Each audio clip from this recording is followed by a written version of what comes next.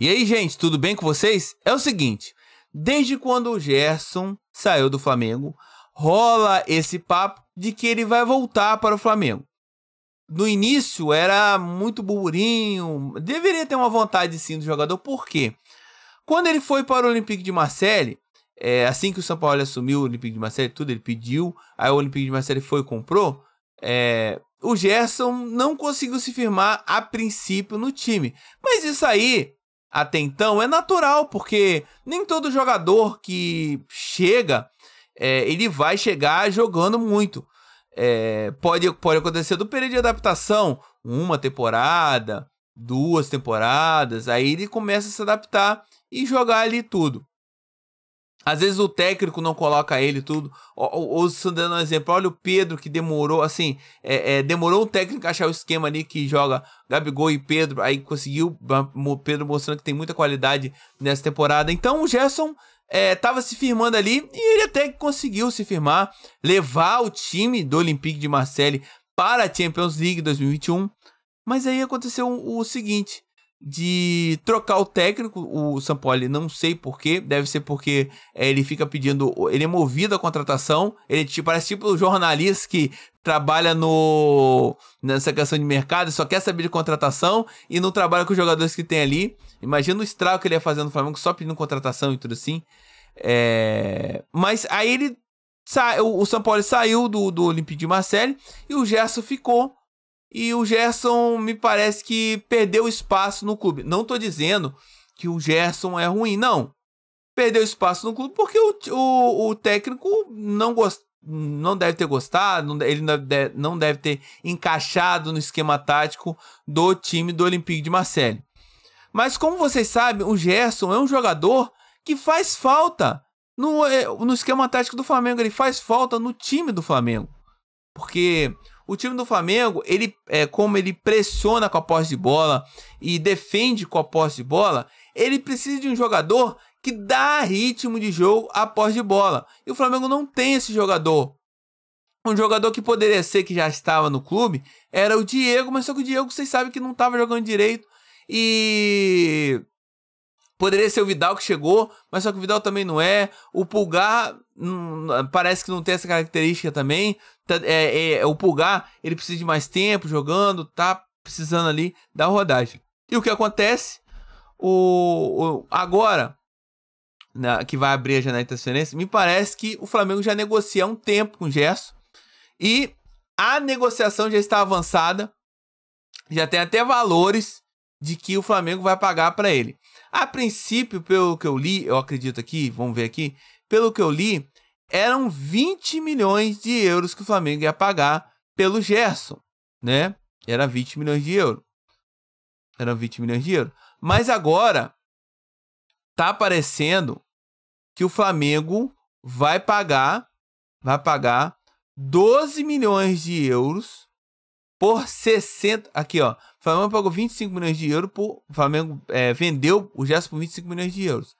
O Flamengo parece que vai. Ó, aqui o Gerson são 12 milhões de euros por 60% do direito.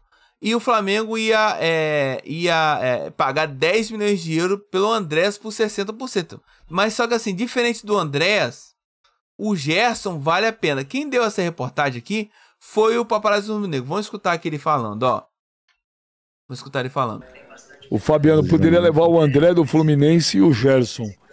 O Gerson desse saiu do Flamengo eu nunca mais vi jogar. Eu já jogava bola. Tá voltando, André, hein? Tá voltando, hein? Pro Flamengo? Pro Flamengo. Gerson tá voltando pro Flamengo. É informação chance, quente? Informação quente, chance grande. Já falou com os, os amigos. Quando ele estava indo pro Locomotive, todo mundo falou que ia pro Locomotive. Uhum. Eu falei: olha, tá vindo pro Flamengo, tem reunião marcada. Tá? Boa Agora, informação aí. Oi, Jonas. Falou, falou com os mesmos amigos já que tá vindo pro Rio de Janeiro, que quer voltar pro Flamengo, quer jogar o Mundial.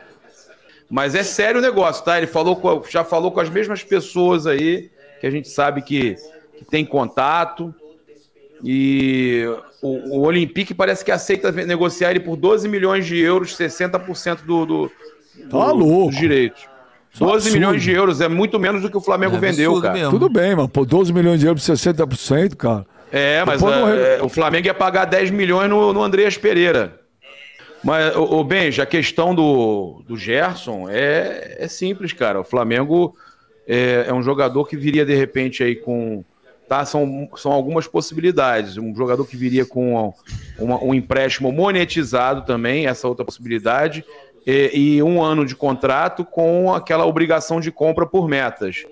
E aí a obrigação de compra seria de 12 milhões por 60%. Olha só, gente. Pode até, igual o Ben já falou assim, ah, absurdo.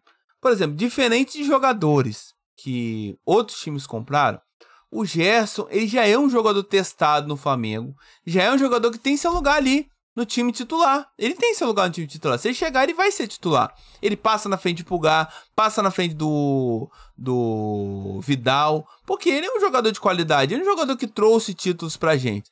Pode ser igual, por exemplo, pode ser que uma segunda passagem é, não seja sucesso. Eu acredito muito difícil porque ele é jovem, ele tá, é, tá é, é tem nível, tá jogando ali. Mas, por exemplo, assim, aí você olha, aí muita gente olha como fracasso a vinda de um jogador da Europa para o Brasil. Rapaz, fracasso é não conquistar título. Imagina ele estar tá num time grande da Europa, igual acontece do de, do nosso do, do cara tá lá no, no, no Barcelona e tá numa fase do Barcelona que não conquista título Barcelona tá numa fase ruim. Vai, o Barcelona vai enfrentar agora o Manchester United. Pode perder pro Manchester United, porque o Manchester United tá, tá uma equipe forte. Para ver se se classifica para Europa League.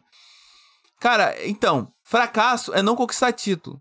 O futebol brasileiro, é, vocês podem até falar assim: ah, não, não tem nível. Cara, é, me desculpa, mas futebol é futebol. Futebol é futebol. Eu acredito que se o, o, um time, igual por exemplo, a gente olha o Real Madrid, que é um time grande da Europa, perdendo para time mediano, a gente olha o, o próprio Liverpool teve dificuldade, o próprio, perdendo para time aí, o PSG aí lá na França perdendo. Porra, por que que fala assim, ah, é, é, ah não, é, é, fracasso? Não é fracasso. Fracasso é o cara, tipo assim, não, não ganhar títulos. Fracasso é o cara chegar no time é, e não, tipo assim, e não, não contribuir, não ganhar título e tudo. Mas o Gerson no Flamengo foi só sucesso e tende a ser segundo sucesso, sucesso pela segunda passagem. Assim, estão dizendo que vão vender aí o João Gomes. O João Gomes já, tem, já pode ter uma carreira muito grande aí na Europa e tudo, talvez não volte, igual o Vinícius Júnior, também não volte Flamengo, mas o, o Gerson chegando aí vai assumir sim essa função aí de o, o, o jogador que cadencia. Ih, cara, um negócio cadencia o jogo, o jogador que é, é, vai ser sim importante e fundamental para o time do Flamengo, que o, time, não, é, o time do Flamengo sente falta assim, nós torcedores sentimos falta do Gerson, porque ele é, remete a uma, um período é, glorioso aí de 2019, ele não participou do, desse período glorioso agora de 2022, mas pode sim participar de um período glorioso aí em 2023. É, ele, ele, não se adaptou muito bem ao Olympique de Marseille e é natural que ele volte para o Flamengo. E eu gostaria de saber a opinião de vocês. O que, que vocês acham? Vocês acham que ele vai fazer é, diferença aí no Flamengo se ele voltar? Vocês acham que é importante a vinda dele para o Flamengo? Vocês acham que é legal a volta dele para o time do Flamengo? Não se esqueça de curtir, compartilhar e se inscrever no canal. Muito obrigado pela audiência de vocês. Um forte abraço tudo de bom, falou e até mais. Vídeo 9 dias aqui para você.